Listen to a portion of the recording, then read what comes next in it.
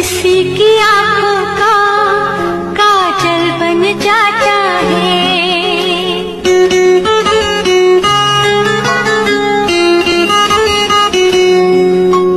किसी की जुल्फों का बादल बन जाता है।